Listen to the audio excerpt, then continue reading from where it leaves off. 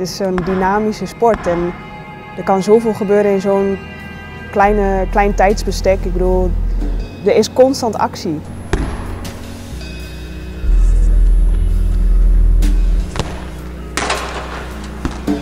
Het is iets wat je samen opbouwt en samen doet en ik denk dat dat het mooiste is.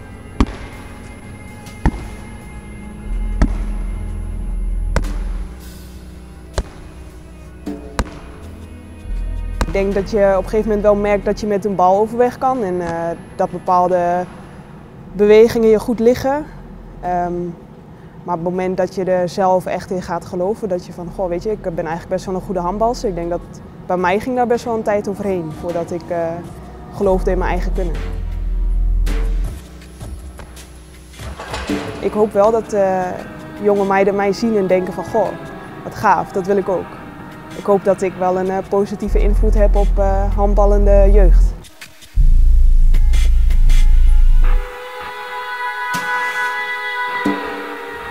Ik ben daar begonnen toen ik uh, zes jaar was, omdat ik ontzettend klein was.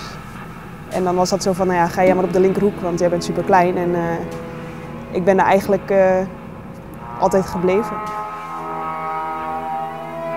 Het is een positie waarbij je explosief moet zijn, heel snel.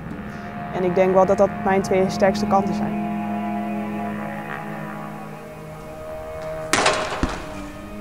Um, ik was er vier jaar geleden bij, toen, uh, toen we het net niet hadden.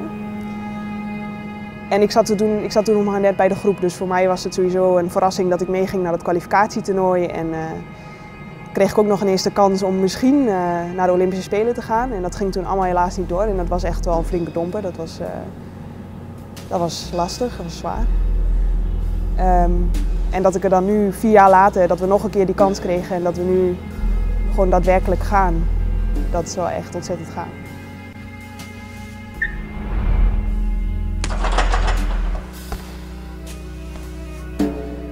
De eerste ploeg die zich kwalificeert voor de Olympische Spelen in de handbalgeschiedenis van Nederland. Ik denk dat dat wel iets bijzonders is.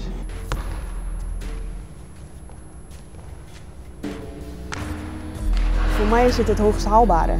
Het is, uh, het is een toernooi wat, uh, of een, het is één keer in de vier jaar. En um, als handbalster, ik weet niet hoe lang mijn lichaam uh, nog zegt van joh, blijf nog maar even doorgaan. Maar um, ik weet niet of ik er bij de volgende Olympische Spelen bij ben, mochten we ons kwalificeren. Dus um, het is niet een kans die zich heel vaak voordoet. En die kans hebben we nu gegrepen.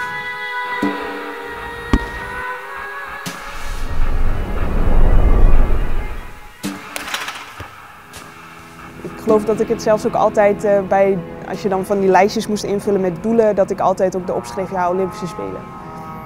En uh, het is wel grappig dat je dan dat altijd als doel hebt gehad. En dat dat dan nu iets is wat je hopelijk daadwerkelijk gaat doen.